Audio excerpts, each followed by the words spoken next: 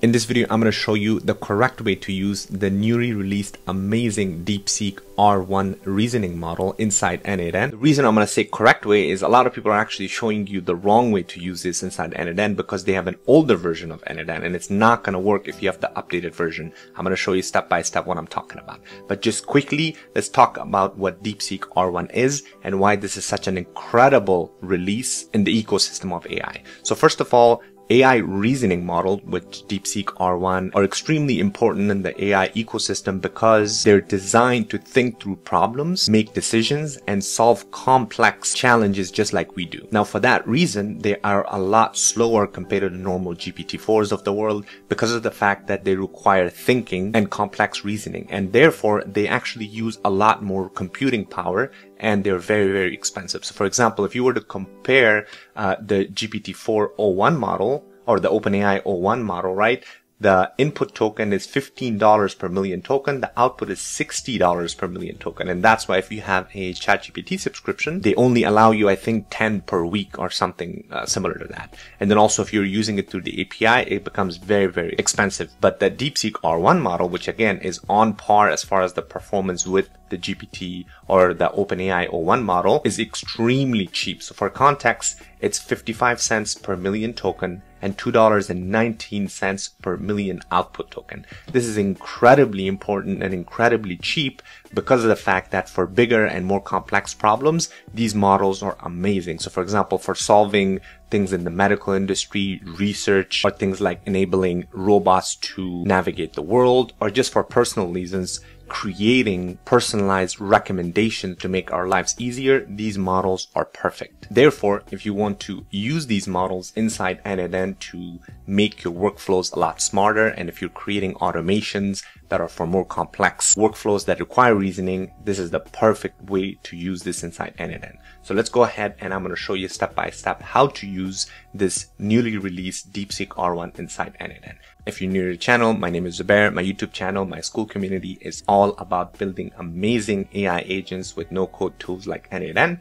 Our community is incredible. They're full of passionate people who are there to learn and collaborate with each other. I'm going to put the link in the description, so make sure you join because it's an amazing space for you to get involved. Because again, the best way to learn, in my opinion, is through a community. And this community is amazing because it's not only me, but Alex and Alexandra, who are all three of us are n8n ambassadors, have combined our efforts to create the best possible community for everybody to learn. We have a great classroom section where you can grab any of these AI automations, the workflows, you can directly import it from right here, the JSON template, and you can use all of the automations. On top of that, we have amazing classroom section where regardless of your background, we have introductory series, we have exclusive deep dive topics on voice AI agents, vector databases, AI agents, and much, much more. We also have an amazing community automation workflows. Our community is always building new workflows new ways to use n8n on their personal lives, on their businesses. So you can grab all of this right here. We also have a calendar section. We have daily calls, tech support. We have live build every Thursday. Alexandra builds a new project. So you can join the call and follow her along as she builds a new project live build. If you have any questions, obviously you can always post them in the community. Somebody or myself will get back to you within a few hours.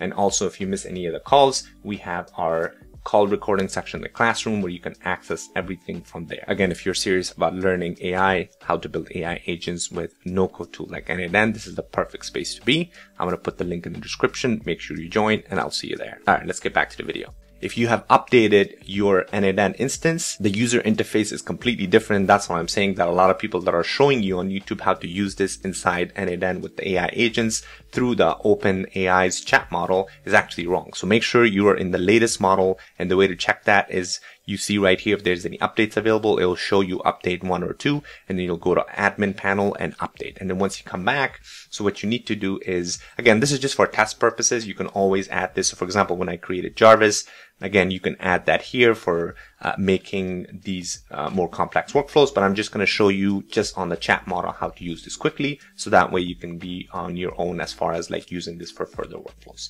So let's go ahead and actually just do a chat. I'm just going to add a AI agent here. So I'm going to go to advanced AI, click on AI agent. All right. So now let's go ahead and back out. So I'm going to show you how to attach this. Whoops.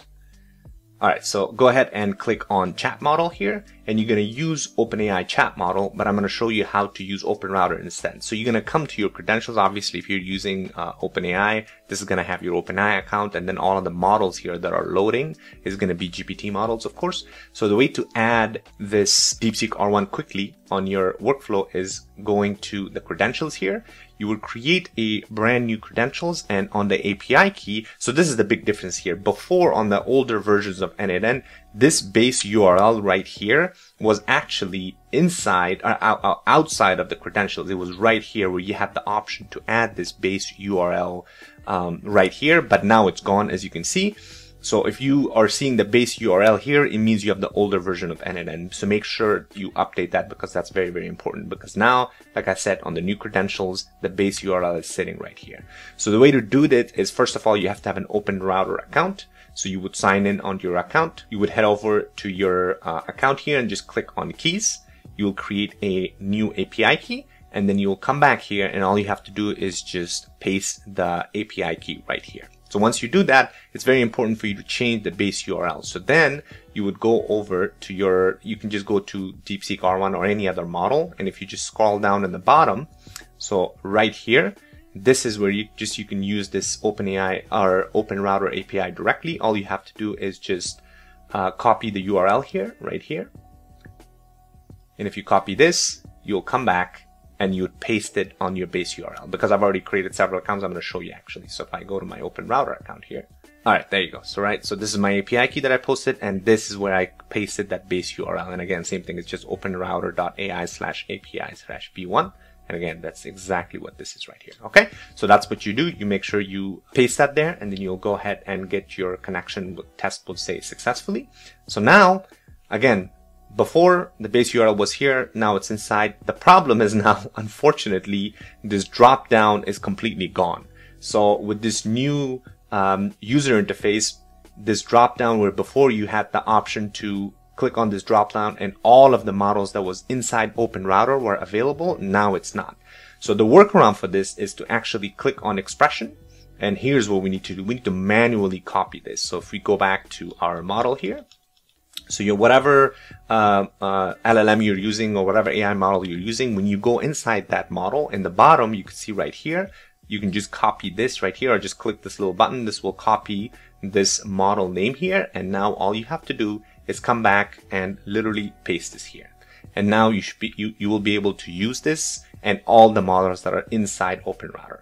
So let's go ahead and don't worry about this little uh, sign here. And I'm going to show you uh, the proof to actually you can use this right here because we can go ahead and check out our activity. So if you come over to your uh, account here and click on activity. So this is where you will see all of the different uh, models or, or you have interacted with through the open router API. And the last one I used was the Google Gemini Flash. So I'm going to show you exactly now how to use this DeepSeek R1. We're going to test it out and I'll come back and show you that it's actually worked. All right. So let's go back I'm going to go ahead. You don't need to do uh, memory or tools and stuff like that because like I said, I'm just testing this. You can always just replace your normal workflow by adding the OpenAI chat model and going through steps just that I walk you through right here to add it into your more uh, complex workflow. So let's go ahead and click on chat and let's go ahead and test this out. So I'm going to ask it a complex question. What is the meaning of life? Right? So now it's going to go ahead and process it. And if you did everything right, this is going to reach out to that DeepSeek model and it's going to pro process our request. And as you can see, it does take longer because like I said, this model is designed for complex reasoning and it will give you a more um, a longer answer and, and a, a, complex answer as well. There you go. Say the meaning of life is deeply personal, philosophical, blah, blah, blah, right? So now let's go ahead and check to see if uh, indeed we use this model. So if I go back to my open router and I just refresh the page right now, again, like I said, the latest model last time I used was Gemini Flash. So if I refresh the page, there you go. Perfect, right? This is DeepSeek R1. I just used it. And as you can see, a little, it's a little more expensive, but believe me, it's nothing comparing to, compared to the OpenAI uh, O1 model. And you can see right here on the right hand side, the provider DeepSeek, and we did everything correctly.